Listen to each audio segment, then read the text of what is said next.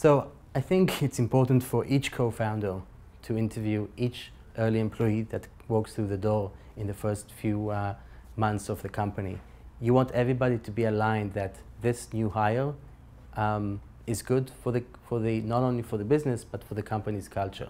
Um, there's no one way of testing for the culture. It's really a feel, but I think there's, there's very specific ways to, take, to test on the professional side, but on the culture side, it's making sure that that person is aligned with what you do. So asking them about their experiences in previous places of work that where they've had, what they liked and disliked, what are they looking for in terms of a job, right? Um, those are the things that you need to be to ask upon. And then I think spending, overspending time with that person is key. Uh, don't just make quick hires because you need somebody to walk through the door. You spend an hour, looks good, let, let's get going.